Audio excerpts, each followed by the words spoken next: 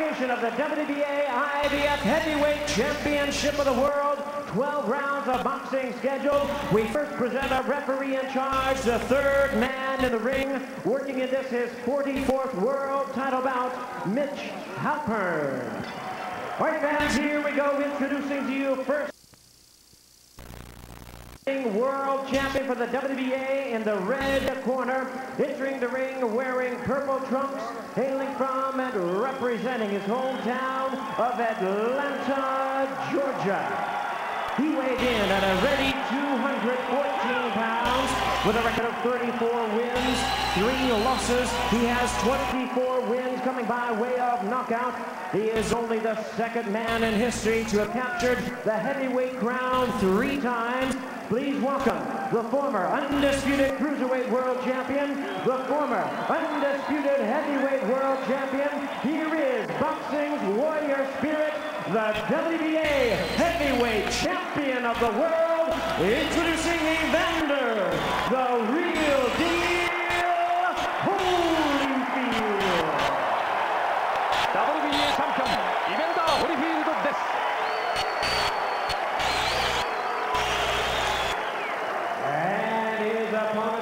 on my right is the defending IBF heavyweight champion fighting out of the blue corner, wearing green trunks and hailing from Detroit, Michigan. He weighed in at 223 pounds, boxing's very first Southpaw heavyweight champion. He has compiled a record of 39 introducing the IBF heavyweight champion of the world, known as Double M, Michael チャンピオンマイケル・モーラー。レフリーはミッチ・アルパーンです。WBA、IBF 世界ヘビー級王座統一戦12回戦。イベンダー・ホリフィールド対マイケル・モーラーの一戦です。さあ浜さん、はい。どこに注目されますか？まずですねあのマイケル・モーラーの右の速いリードジャブですね、えこれをホリフィールドホリフィールドがどういうふうに対処するかでしょうね。はい。こちらはホリフィールドリラックスした表情からぎゅっと顔が表情が引き締まりました。35歳。これが38戦目になります。イベンダー・ホリフィールド。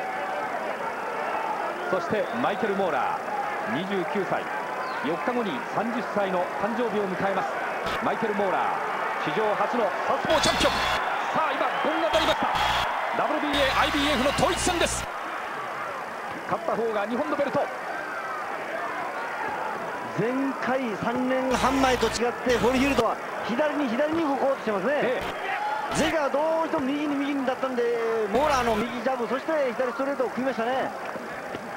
体を絞ってまいりましたイベンダー・ホリフィールド。一方体重を増やしてまいりましたマイケル・モーラー。この増減の差が2人にどういう影響を出しますか。2人の体重差は4キロです。そしてマイケル・モーラーに関しては新しいコーチフェビー・ローチがこの試合からついています。あのーホリフィルドうまく動いてますよ、はい。相手の右を殺しながら左に動いてますからね、ええ。左を丁寧に出します。イベンダー・ホリフィールド。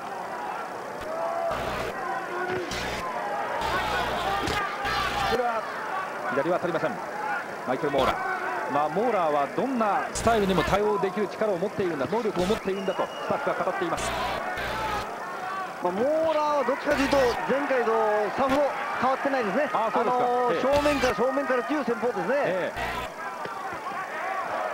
モーラーはおそらくイベンダー・ホリーフィールドは前に出てくるだろう中に入ってくるだろうそして打ち合いを望むだろうとそれは自分が望んでくることでもある自分のスタイルでもあるんだと言っていますそういう感じではまだないですね立ち上がり。うんあのボディから顔面。ーホリフィルドが左に左に動いてるんですね、ええ。ー自分の右がなかなか今出ないんですね。あまあ、あのそれでもモーラはあの中からまっすぐ右を出していけばいつものペースいつもの自分の本来のボクシングできるんですけどね、あええ。ただ今のところこの右を殺されてますね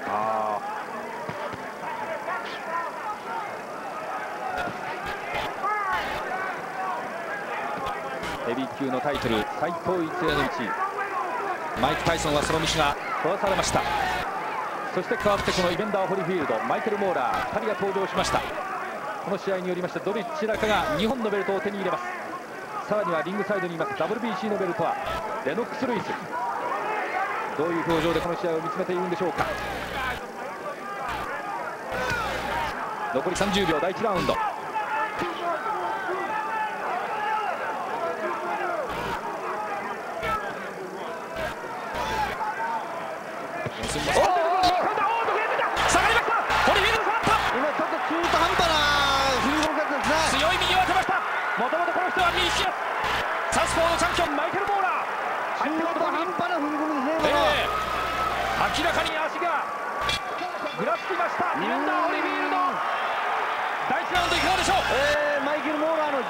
10対9ですはい。映画「レジェンド・オブ・フォール」の時間ですが予定を変更してボクシング中継を続けます。ご了承ください。アメリカ・ネバダ州ラスベガストーマスマックセンターから衛星生中継でご覧いただいています。WBA、IBF 世界ヘビー級王座統一戦1ラウンド終了したところです。ホリフィールドのコーナーは一番上ドン・ターナー。そしてトリー・ブルックス、まあ、コートレーナーという形なんですけれども、まあ、ドン・ターナーが主導権を握っているようですね。うそうですね。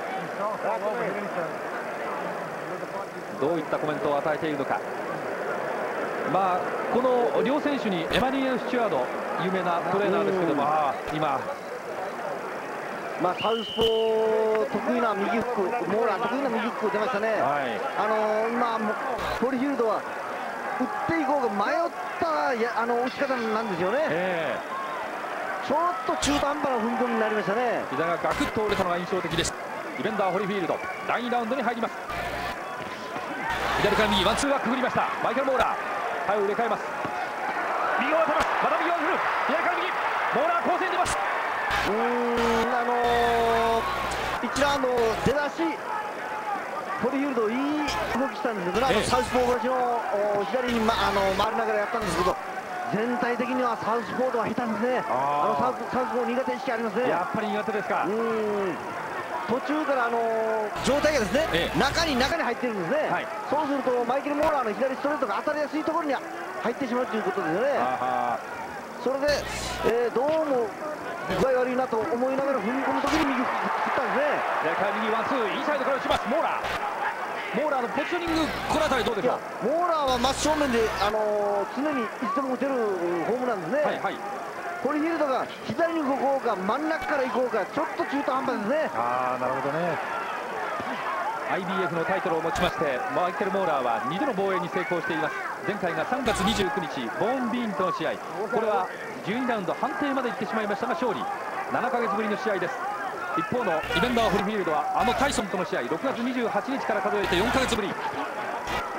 この試合にも莫大なファイトマネーがかかっています。20ミリオンと8ミリオン。24億円と9億6000万円です。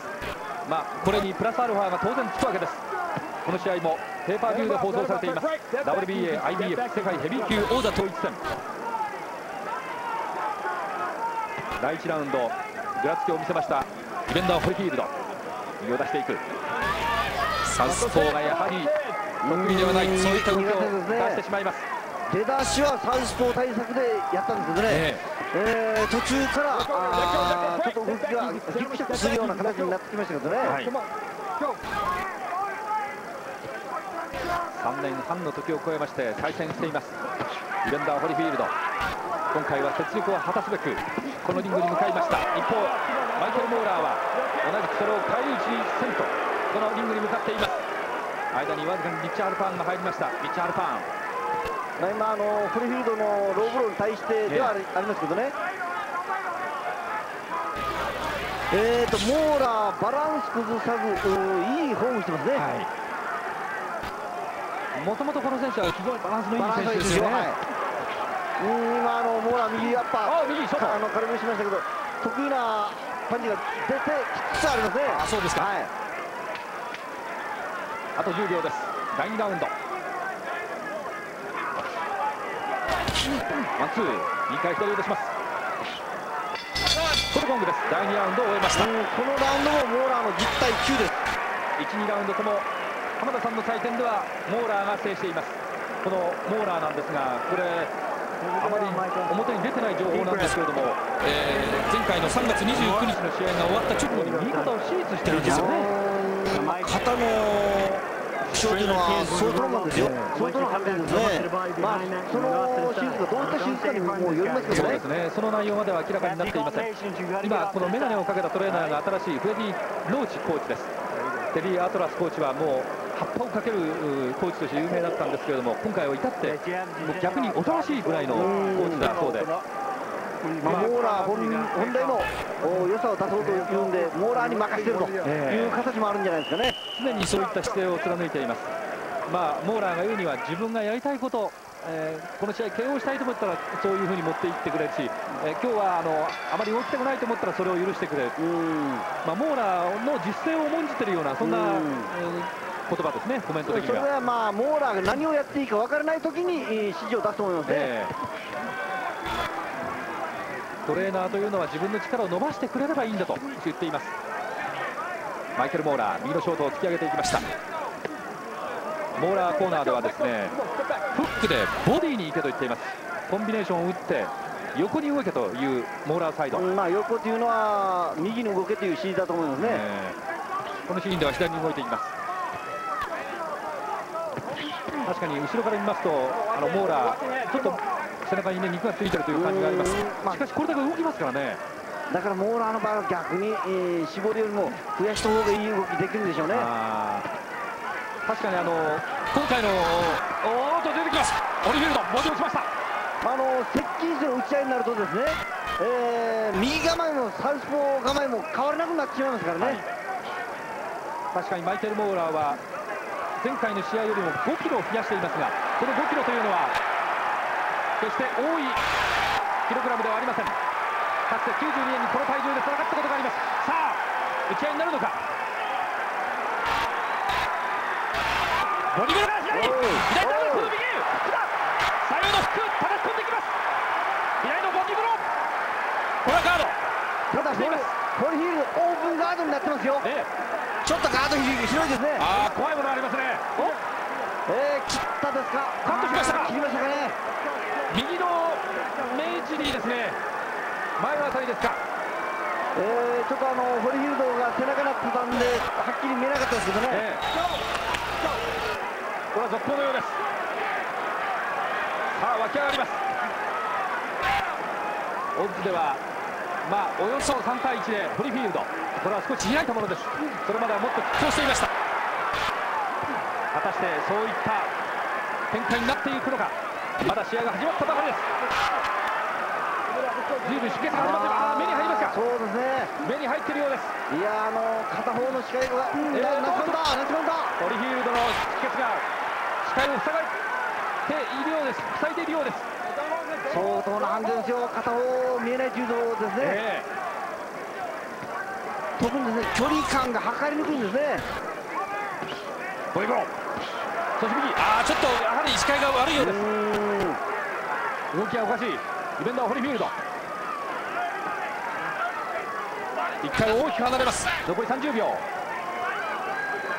逆にあのー、まあ今見えるからあれですけど視界が悪くなったら逆にくっついた方がいいですね。なるほど。はい。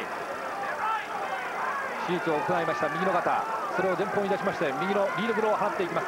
もともとマイケル・モーラーは右利きです。おお今のモーラー顔面が上がりました。モーラーも切ってませんかね顔が赤くなっていますこれ込んで切ってはいないようです、はい、このラウンドホリフィールドの球です初めてホリフィールドが取りましたいやすごいボルテージです。いや自分で自分の声が聞こえないですね観衆が今発表になりまして1万3200人と発表が出ました。トーマスマックセンター。巨大なスタジアムですので、まあ、2階席はそのシートが見えるんですけれどもよく入りましたね、一番それとこの会場はあの声が逃げないですからね。そういったのもありますからこういったボルテージがねと思いますよ。まるで確かにあの歓声が降り注いでくるような感じを受けます。さあちょっと傷口があこちらサイドからでは傷口が見えないですね。まあ、ホリフィールドとすれば焦らないことですね。まあ100点連覇のマイケルイベンダー・ホリフィールド。相手はマイケル・モーラーですが試合数はモーラーが上回っています。これが41戦目。ホリフィールド38戦目。試合は第4ラウンドに入りました、まああのー、マイケル・モーラー右肩手術したということですけどね、はい、これだけのパンチを打てるということはそんなに難しい怪我じゃなかったと思いますよ。あなるほどねまあその前回の試合前から右肩は痛かったらしいんですけれどもそれは誰にも話さずにこの試合を戦ってまいりました。それに比べてホリフィールドは何だと。まあこれはモーラーのマネージャーが言ってたんですけれども、前回の試合を自分の肩のせいにしていると、えー、それ試合の評価を落とすようなことを何で言うんだと。そういったことをクレームをつけていました。右ホリフィールドはホリフィールドあれは言い訳ではないんだと言っています。肩が痛かったのは事実なんだと左からヒと左ショートから打っていきます。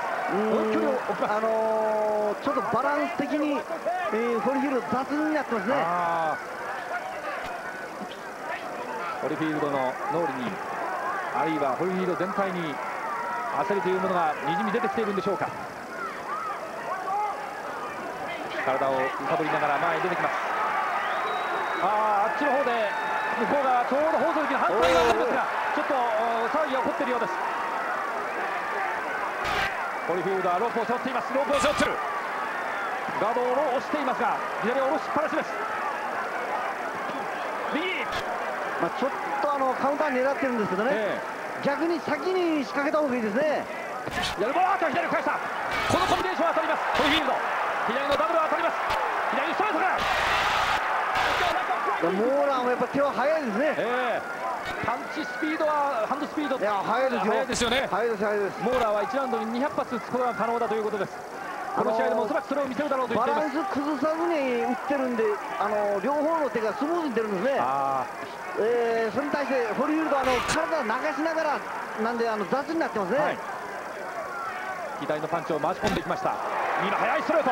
イベンダーホリフィールド。この後簡単になりました。右ショートもう少し低めだったら顎に当たってますね。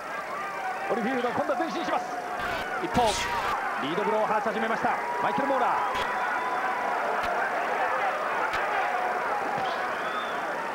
お父さんもボクサーでした。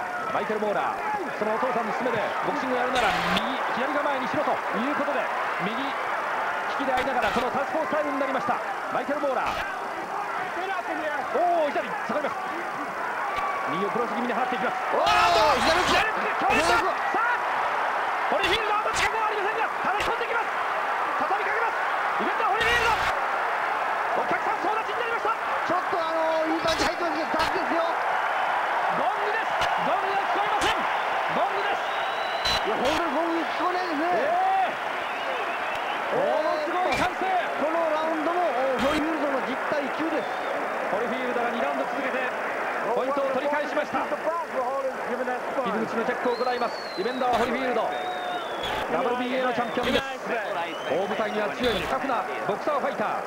本当にこのホリフィールドは大舞台強いですよね。そうですそしてお客さんを味方にする、タイプの選手ですね。そうですね。まあ、以前統一チャンピオンだった頃にはあの例えばジョージ・ファーマンですとかホームズを相手に、まあ、年齢を取ったチャンピオンとやってどうするんだとそういう批評もあったんですけども今はもう全然変わりましたからね、それはね、それないですね、まあ、やっぱり今、あの左食いの入りましたよ。はい。前回の統一王者の時にはフォアマンそれからホームズバート・クーパー。バート・クーパーは2度目の防衛戦でした。これは WBC のタイトルはかかっていませんでした。こういった見事なキャリアを積んで現在のイベンダー・ホリフィールドがあります。そして今また統一への道を歩み始めています。イベンダー・ホリフィールド。あのー、モーラー左食いの食いましたけどね、ええ、体重増やした分、あのー、打たれ強さが出てますね。モーラーすれば体重増やした分いい方向に向いてますね、ええ、ああものすごく大きな、ね、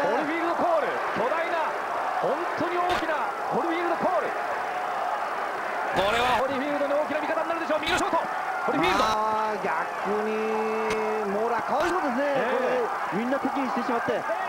浜田さんイベンダーのコーナーはですね、はい、ホリフィールドコーナーはモーラの前に立った時には、うん、右ではなくて左を使えと言ってますね。あのサウスポーがですね、ええ、一番避けにくいパンチというのは左フックなんですよ、はい、まあ、ただあの左フックあの相手の構えが変わるとまだ打ちにくいところもあるんですけどね。小さくパンチを持っていきます。あのー、さっきのラウンドみたいにこういう右ストレートで入ってそして左フックを叩き込むといいですね、えー、右から左。右のストレートを返しました。ディフェンダーホリフィールド。自分がベストを尽くすことがゴールなんだ。それは統一チャンピオンになることなんだとディフェンダーホリフィールド言っています。なるほどいい感じです。このチャンスを与えてくれたことに感謝する。モーラーと戦えたことに感謝しそして幸せなんだと言っていますディフェンダーホリフィールド。あちょっとまた出血が始まりましたが右の目尻気になります。体を大きく揺さぶってさあまた前進します、まあ、あの今右を打って左アッパーで入ってきましたけどあのリズムからあのー、本来の動きに戻していいですね、はい、リッチ・ハルパーンが1回中に入りました。左から右ボディブロー。右をしますホリフィールドがちょっと軽いのが気になると言っていました。かつてのトレーナーエマニュエルエマニュエル・スチュワードさん。エマニュエル・スチュワードは両選手についたことがありました。強く攻めていきます。飛ばされるような感じ。ローマン下がっていきました。ちょっとあのー、目の傷を気にしてますね、えー、ナパナパしかし入り込んできます。ショートレンジの打ち合いになるんでしょうか。左のストー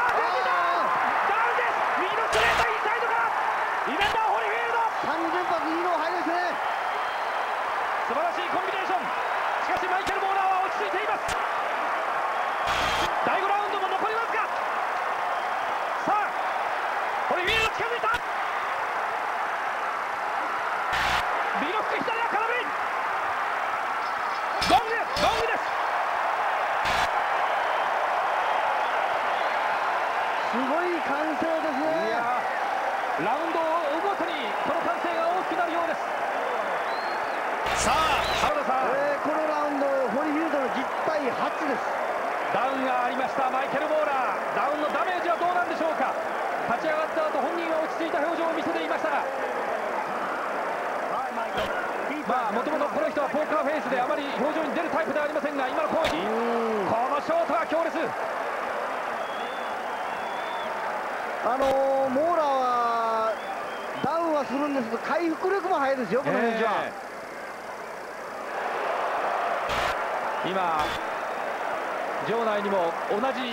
映し出されています。大きなビジョンによりましてこの映像が映し出されていますが。右左右3連発。もうあのー、止まらなくていいのを打ちましたね。いいですね。いいコンビネーションでした。さあその映像が切れましてこのライブの映像に戻ってまいりました。スタンディングオベーション。まだまだ試合が終わったわけではありません。仲間です。第6ラウンド。マイケル・モーラーにダウンがありました左オート左から右コンビネーションおおこれはいきません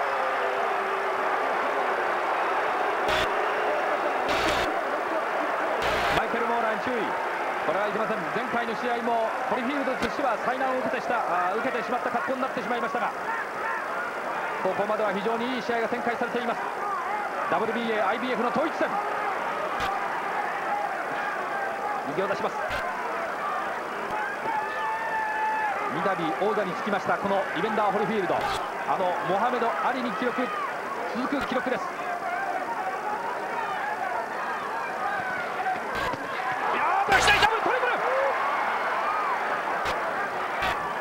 ポイントをずらしました。マイケル・モーラー。マイケル・モーラーにダウンの後のどうですか、はい、この選手は回復力早いんですよ。確かにそれは言えます。ここまでねああ前出てきます本当に回復力早いですね。それとホリウィールドの出だしのダメージというのもちょっと残ったかもしれませんね。カットした後とかそうなんですね。右を持っていきだからあのホリフィールドはパンチを流さないことですね、えー、パンチ流すとあの疲れも倍になってきますからね。足を使います。ステップ。軽く飛ぶような感じ跳ねるような感じになりました。ベンダー・ホリフィールド。向こうサイドに行っています放送席から見ますと一番遠いところリング中央に帰ってきますやっぱりみんなのホリルドサウスポーは苦手ですね。ああまたまたホリフィールドコールです。左。今なんかのよおっとワンツー。ボディエ今なんかの避け方なんか見ても避けた後っていうのはサウスポーのパンチが打ちやすいところで止まってるんですね、はい、それと目の傷血が入ってるのか気にしてますね相当。まあ傷口が浅くなることないですからね、ええ。えー、だんだんだんだん深くなって血が出ると焦ってきますよ。なるほど。この焦り方っていうのはドクターストップされるんじゃないかという焦り方ですね。なるほどね、はい、それで勝負を急ぎたがる傾向ありますねこまめに丁寧にリードブロージャブをついていきます。ボディブローパスフランスはボタの試合でもこのマイケル・モーラーは丁寧に丁寧に戦いました。決して最後まで最後の最後まで決めることができなかったんですが12ラウンドついに TKO 勝ちを収めています。本当に表情を変えなくてですね。まあそういったことができる選手です。マイケル・モーラー。コテコング、えー、このラウンドマイケル・モーラーの10対9です。マイケル・モーラーが取りました。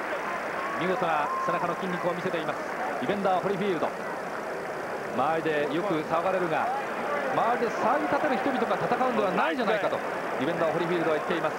お互いに戦う2人が持っているものはお互いに尊敬し合う心なんだとこう言っています。いかに自分のことを考えるかそしてできるだけ最善どのように尽くしたらいいのかそのことが試合へのモチベーションなんだと言っています。まあこれだけのお客さんが入りました。1万3000を超えるお客様。そしてこのテレビ放送はペーパービューとしては21回目の、まあえー、放送という SET としましてはなるんですけれどもタイソン、ラドック、1以来このペーパービューの放送が続いています。前回のですねホリフィールド・モーラー戦3年半前の第1戦ですねそれは62万5000世帯が入ったらしいんですが今回は100万世帯近くいくだろうという予想ですね、そうですね。今のホリフィールド人気だとそうでしょう、えー、ホリフィールドサイドはもっとパンチをまとめていけという指示が飛びました。ちょっとあのまとめる以前ですね、えー、あのおおワンツーモーラーのワンツーです。パンチを流すのことなんですね。パンチ流してしまうとそのままあの右足が前に出てしまってモーラーの右左ストレートを食いやすいところに来るんですね。危ない体勢になると。止まってしまうんですね。第7ラウンドに入っています。WBA、IBF 世界ヘビー級王座統一戦12回戦。あ自分のリーズを取り戻すかのようにステップをご覧のように踏みます。リベンダー・ホリフィールドやるに回ります。もともと小さな体作って作って作り上げてこの体をこのようにヘビー級の体にすることができました。イベンダー・ホリフィールド。統一チャンピオンにもなりましたし今また WBA のタイトルそれから IBF のタイトルをかけまして統一への道を歩んでいます。ああモーラープレッシャーをかけます。っ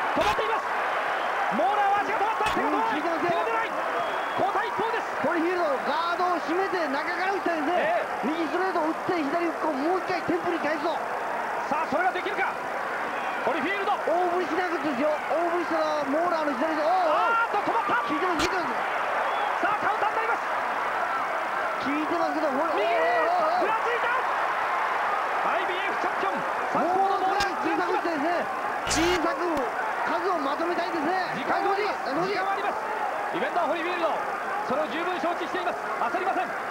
一気にはいきません。焦らないんじゃなくてですね。出ないんですか？出ないんです出ないんです。さあモーラー。またさあショートランパーが入った。この試合2度目のダウンです。このラウンドで決めたいところですね。あと56秒55秒。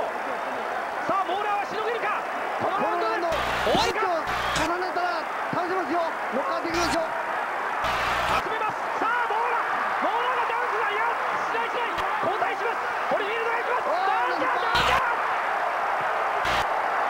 2度目のダウンです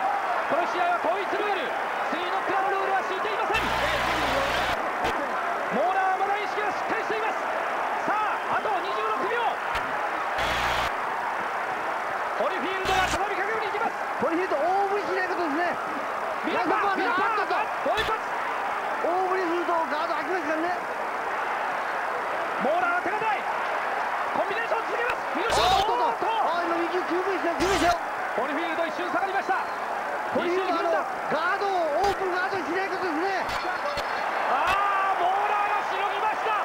2度のダウンをしのいでいます。いや今のラウンドを倒しきりたかったですね。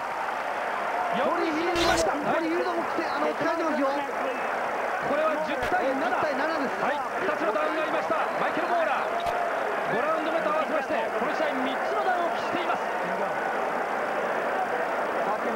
いやマイケル・モーラー倒れやすいんですけれども。回復も早い,、早いんですね。その通り先ほどね浜田さん指摘した通り。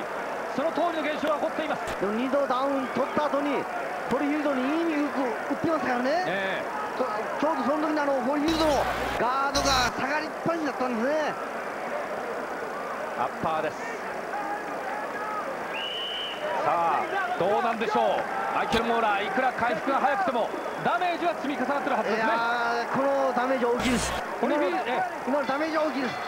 ただのホリフィールドもですねあのこの連打で疲れはあるんですね。第8ラウンドです。ホリフィールドはしかしこのラウンド大きな勝負かけてもいいラウンドじゃないですか。かけたいですね、えー、あのこの1分間あの回復は下にしてもダメージ残ってますからね。体が言うことを聞くならばできればここでかけたいと。そうですね。あの決めたいところですね。ああモーラーのジャブから始まっています。この選手は回復力早いですね。いやそれとあのホリフィールドが力が出てきてるんですよ、はい、逆にここへ来ましてモーラーが体重を増やしたということでかつてのモーラー、えあのー、打たれ強くなってるなってますよね。ところあるんですね、えスタミナが十分蓄積されています。マイケル・モーラーこの体。あのー、ホリフィールドも疲れたところに右右の空とやっぱりダウンする恐れもありますからね、えー、ワンツーワンツーは入っていません。左まで返しました。3つ目まで返しています右カウンターなんとかなってません。両者とも様子を見てるような感じがあります。両者とも疲れてるというのも本当でしょう。まあこれだけの試合すれば疲れますよ、えー壮絶な試合になってきています。うんホリフィールドちょっと打ち疲れましたねさっきのラウンド。だからあのこの打ち疲れた来た時にはパンチを流し気味大振りになり気味になるんですね、ええ、パンチを我慢して小さく打つことですね左は届きません。ベンダーホリフィールド。距離を詰めました。距離を詰めた。押していきます。身長でわずかに1センチ勝っています。イベンダーホリフィールド。シャープな右。これが心情です。まあライトヘビー級の時にはずっと連勝街道を爆心していました。このマイケル・モーラーです、まあ、あの時は無敵でしたね、はい、デビューからの連勝街道もものすごいもの。おーっとなるほどダウンだダウンだコンビネーション見事なコンビネーションこれが4つ目です4つ目のダウンさあホリフィールドにまたチャンスが巡ってきたモーラー自分に気合は入れてますけど決めたいですねホリフィールドは。ホリフィールドさあこれ決めることができるか？パンチを小さくガードを開けないことですね。ガードを開けずにパンチをあの続けたいですね。あと40秒。ホリフィールドレフリーはマイケル・モーラーの顔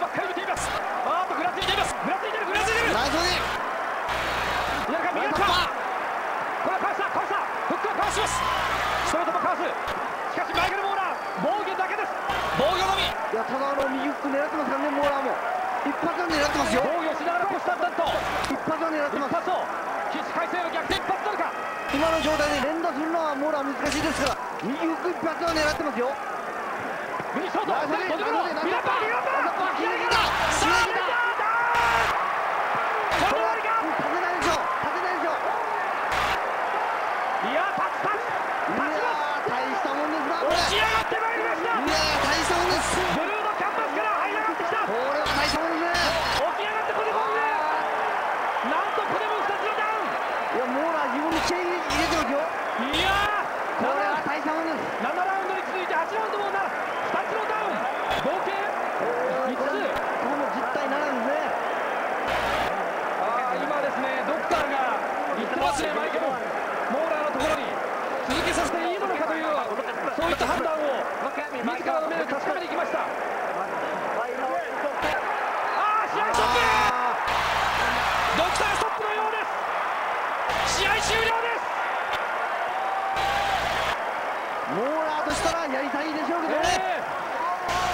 たいでしょうけどね、えー、まあドクターの判断ですから仕方ないないでしょう。ヘビー級最高一への道ホリフィールドが前進ですこの壮絶な試合頑張るマイケル・モーラーを振り切ってのディフェンダーホリフィールド2冠統一です。ホリフィールドダウンこれだけ取ったにしても取ったにしては苦戦ですよ WBA、IBF 世界ヘビー級王座統一戦。日本のベルトはフィールドの腰に巻かれます。マイケル・モーラーが今ホリフィールドのもとへ行きました。お互いに認めて合っているんだ。尊敬し合っているんだ。試合前には語っていました。その言葉通りこの健闘をお互いに祝福しにそれぞれのところへ向かい合いました。いやしかしそれにしましては浜田さん、はい、これはまさにチャンピオン同士の戦い。いやベルトを、ね、一つにするに値するような壮絶な試合でしたね。いやあのチャンピオン同士というとやっぱりお互いに警戒する場合あるんですけど、ええ、本当に素晴らしい試合ですねこれは。ドクターのフリップ・ホマンスキーさんが言ってこれは無理だと判断したのもこれはしょうがないですね。ああしょうがないです。あれだけのダウンそれであれだけの集中打食ったんですけどね普通だったら8ラウンド目あのダウンの後私は勝てないと思いますけどね。よく立ちましたからね。この統一ルールではレフリーのみが試合を止めることができます。つまりドクターストップを仰いでドクターの勧告を仰いでレフリーミッチ・アルパンが試合を止めたものです。WBA、IBF 世界ヘビー級王座統一戦。イベンダー・ホリフィールド。また2冠。残るはリングサイドにおります。レノックス・ルイスが持ちます。WBC の3つ目のベルト。まもなくインタビューが始まると思われます。インタビューが始まり次第またそのインタビューをお聞きいただきたいと思います。この放送はアメリカネバダ州ラスベガスより衛星生中継で日本の皆様にご覧いただいています。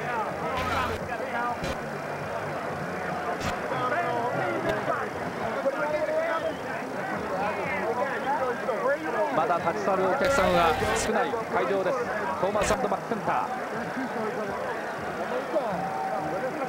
タイソンを続けて2度下しそして今度はマイケル・モーラーを下しました。イベンダー・ホリフィールド。これでまたホリフィールドへの声援が次回の戦いではまたボルテージが上がるでしょうねより一層多くなるでしょうね人気が人気を呼ぶというんですかね、えー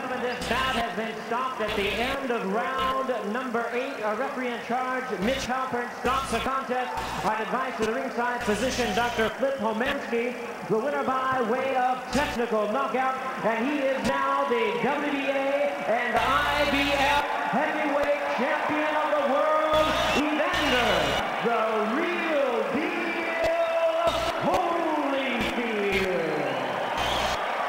本のベルトは WBA、IBF この日本のベルトはイベンダー・ホリフィールドのものとなりました。8ラウンド終了テクニカルノックアウトです。ドクターからの勧告を受け入れましてミッチ・ハルパーンレフリーが試合をストップさせました。ねどうでした？かなりあの痛かったと思うんですけれどもそうですね。とにかくもう素晴らしい選手だと思います。なかなかタフなバトルだったと思います。あの右目の方かなり邪魔になってきたかと思うんですけれども、ストップされるかと思ったんですけれども、そうですね、全然怖くはなかったですよ。あの確かに自分のパンチというものはどのようになるかということだもう当然、ロックとかしたいわけですけれども、自分の目のことは全然心配なかったですね。まあ、とにかく今までのファイトというものもそのような傷というものを得てですから、ですからパニックすることはないわけです、今までに経験ありますから、まあ、確かに切り傷っていうのはあの邪魔になるわけですけれどもそれでストップするわけはないわけですちょっと見てみたいと思うんですけどプレイバックですそうですね。僕はとにかくボディの方を狙っていたわけですよ。でお互いにボディを狙い合ってたわけなんですけれどもとにかく踏み込まなければいけないわけで残念ながらあの僕は本当に切り傷を得てしまったわけですけれども5ラウンド目までどうやらマイケル・モーラーの方がかなり苦戦さを投げかけてくるような感じがしたんですけれどもそれまでどうだったんですか？本当ちょっとなんか問題を得ていたような感じが苦戦してたんですけれど。も。そうですねジャブをかわすタイミングというものを本当にあの見計らってたわけですね、じゃないと自分の戦略というものを遂行することができないわけですね。で初めのファイトでいろいろ問題をあったわけですが、それを解決しようと言ったわけですけれども、ジャムをとにかくしたかったわけです。左の腕がどうにかなんかだらんとしてたような感じがしたんですけど、全く問題ないですよ、わざわざやったんですよ、これは意図的にやったわけです。とにかくチャージインされてしまったら、あのしてきたら自分の方のクリーンなショットを送ることができますので、あれは意図的にやったわけです。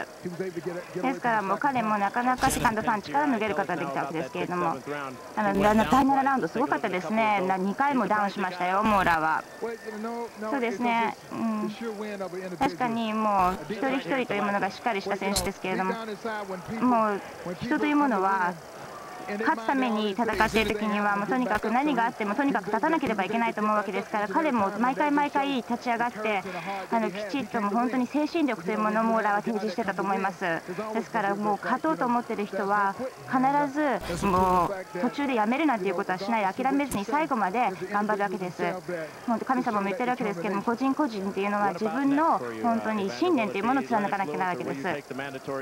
次にあのもしあの対戦というのがありました立ち向かいますか？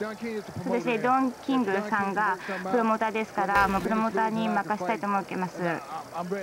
ですね。私はいつでも準備はできてますんでプロモーターの言う通りにしたいと思っております。ドン・キングに任せておりますので。で当然必要なこととあらば対戦はしますしまた僕が第一のチャンピオンであるということを提示しなければいけないことがありましたらもういつでも準備はできてます。右の方の目かなり痛そうですけどもどうにか持ちこたえたようですね、うん、そうですね。もういろいろ傷を得てもどうにか頑張り抜く自信はあるわけですよ。